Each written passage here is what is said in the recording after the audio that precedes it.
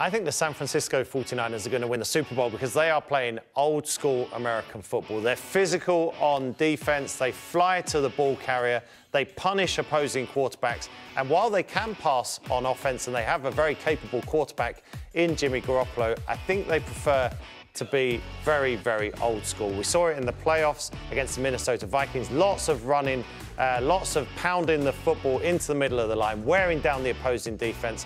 So I think in this wide open, pass happy NFL, the 49ers are going old school, and that can take them all the way to lifting another Vince Lombardi trophy.